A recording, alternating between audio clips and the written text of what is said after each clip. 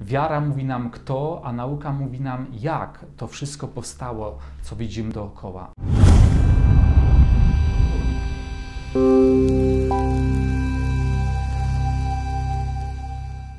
Niech będzie pochwalony Jezus Chrystus. Witam serdecznie w kolejnym odcinku Słowa na Niedzielę, pierwszym roku 2018.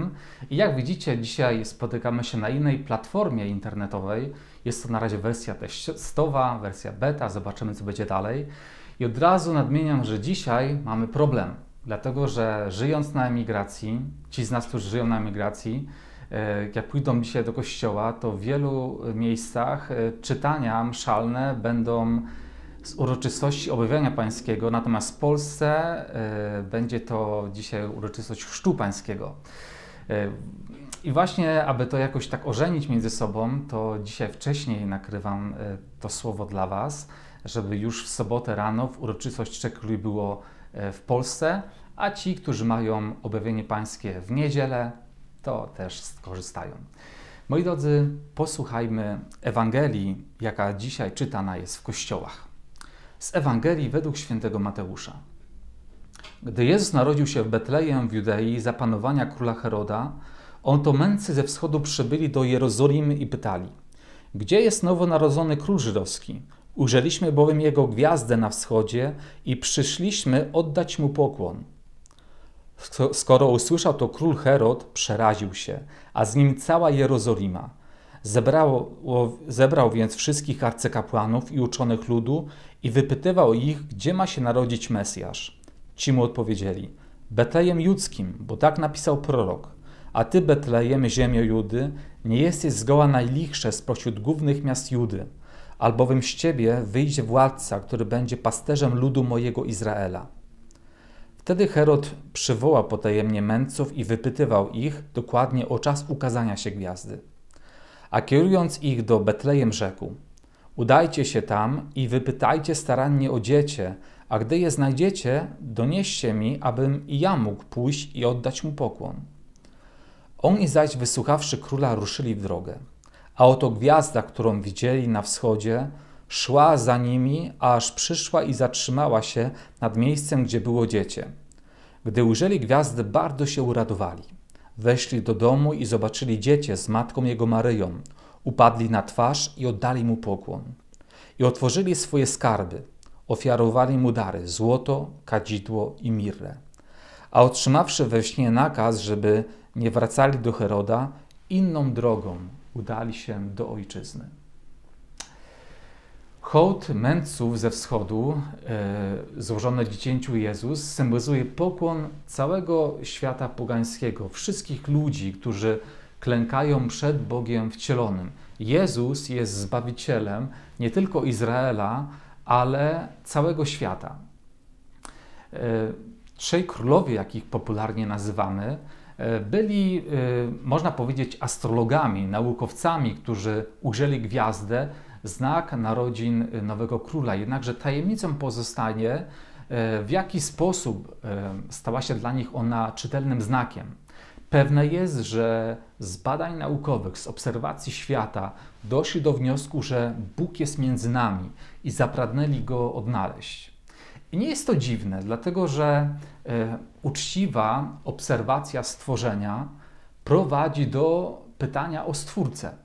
Zarówno obserwacja makrokosmosu, wszechświata, jak i obserwacja mikrokosmosu, tego co można pod mikroskopem zobaczyć, yy, może nas prowadzić do wiary w Stwórcę.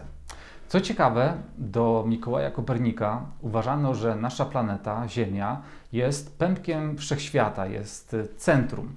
E, dzisiaj wiemy, że Ziemia to jest małe ziarenko, a gwiazda e, Ziemi, czyli Słońce, e, to też e, w galaktyce jest bardzo malutka, jest prochem.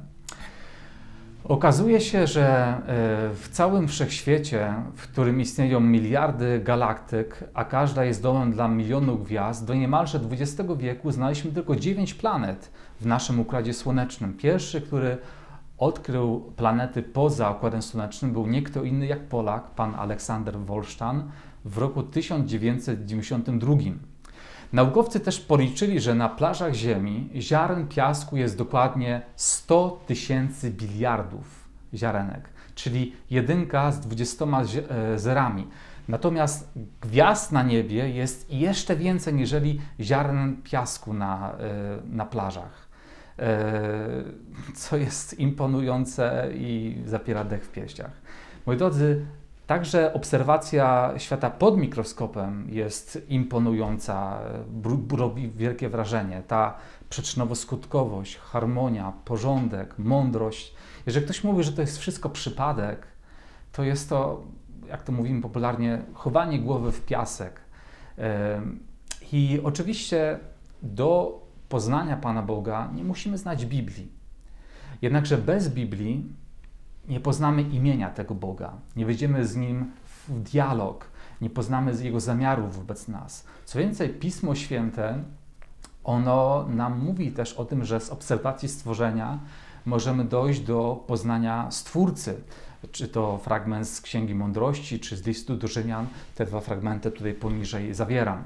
Również wielki doktor Kościoła, e, święty Tomasz z Akwinu w swojej sumie teologicznej podaje pięć dróg poznania Boga, które popularnie nazywamy pięć dowodów na istnienie e, Pana Boga.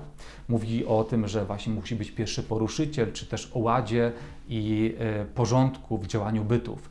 Też te pięć dowodów tutaj pod spodem możecie znaleźć. E, wiara i nauka, jak to mówił, jak to pisał w encyklice Fides Ratio święty Jan Paweł II, są dwoma skrzydłami, którymi unosimy się ku Panu Bogu. Wiara mówi nam kto, a nauka mówi nam jak to wszystko powstało, co widzimy dookoła. Bóg jest autorem tych dwóch księg, właśnie Biblii oraz y, natury. I Bóg jest logiczny między sobą, nie ma między nimi y, sprzeczności. Warto też dodać, że wielu naukowców było gorliwymi chrześcijanami, katolikami, jak na przykład ksiądz Mikołaj Kopernik, czy zakonnik Gregor Mendel, czy też Blaise y, Pascal. E, jeden z naukowców, pan Fred Hoyle, argumentując, właśnie wchodząc w komentarz, w dyskurs e, z ateistami, którzy twierdzą, że nie ma Pana Boga i że pierwsza żywa komórka jest dziełem przypadku, powiedział, że jest to tak absurdalne, jak twierdzenie, że e, po przejściu huraganu przez składowisko złomu mógłby powstać Boeing gotowy do lotu. Ciekawy argument. Co, moi drodzy, pewne to, to, że uczciwa obserwacja stworzenia prowadzi nas do pytania o Stwórcę.